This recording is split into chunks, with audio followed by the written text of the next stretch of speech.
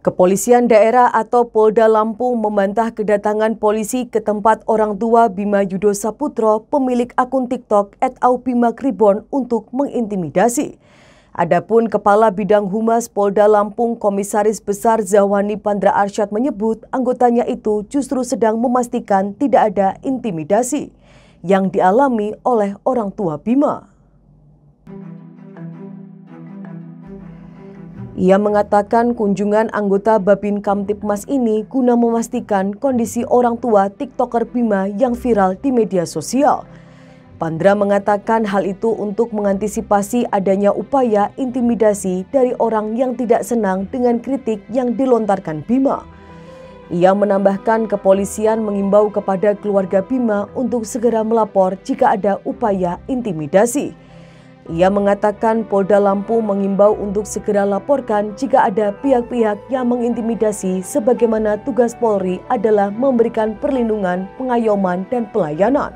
Diberitakan sebelumnya, TikToker Bima Yudo Saputro et Aubima Kribon mengaku keluarganya di Lampung Timur mengalami intimidasi.